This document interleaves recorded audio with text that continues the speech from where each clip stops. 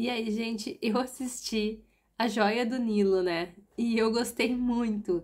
É uma sequência ali daquele filme Em Busca da Esmeralda, né? Que eu já comentei aqui, que é essa história ali do Michael Douglas com a Kathleen Turner. É um filme, assim, estilo Indiana Jones, muito, muito divertido. Achei, assim, bem interessante as coisas que acontecem. E, e a gente pode ver ali a aventura dos dois, as trapalhadas dos dois, vamos dizer assim, né?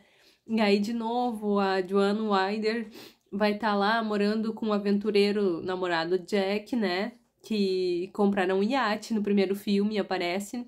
Mas como eles são acostumados com a loucura, né, da, da selva, dessas coisas, eles acabam se estranhando assim quando o marasmo toma conta ali dos dias dele, né?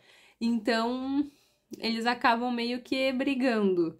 Só que, né, vai acontecer uma questão ali que vai ter que aproximar os dois e novamente eles estarão em busca dessa joia do Nilo, né? Então é um filme assim bem gostoso de assistir, assim, bem sessão da tarde. Eu me diverti bastante.